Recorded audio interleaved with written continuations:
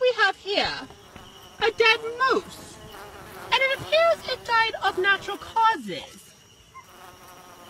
And when a creature like so dies, the cycle of Mother Nature continues. Some consider these a true delicacy.